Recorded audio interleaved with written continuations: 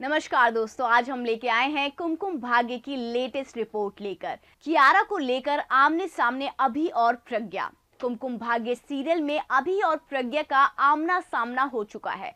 अभी प्रज्ञा से जानना चाहता है कि उसने अब तक कियारा के बारे में उसे कुछ क्यों नहीं बताया था। बुधवार के एपिसोड की शुरुआत अभी के घर से होती है, जहाँ संगीत चल रहा होता है और उस बीच दोनों दादी अभी से कहती है कि उन्हें संगीत में मज़ा नहीं आ रहा है। इस पर अभी नाच गाना शुरू करवा देता है, लेकिन उसके दिमाग में वहाँ मौजूद प्रज्ञा से किसी तरह बात करने की प्लानिंग चल रही होती है।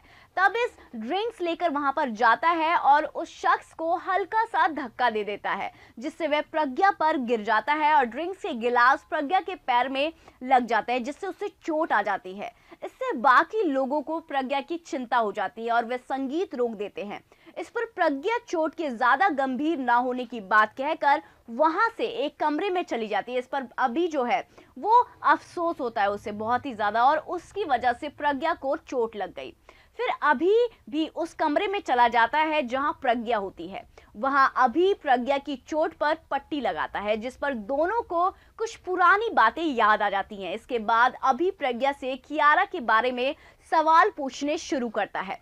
प्रज्ञा पहले अनजान बनती है, लेकिन फिर अभी के आगे कुछ नहीं बोल पाती। वहीं अभी लगातार गुस्से में प्रज्ञा से सवाल करता रहता है। दूसरी तरफ़ पार्टी में किंग और आलिया का आमना सामना होता है।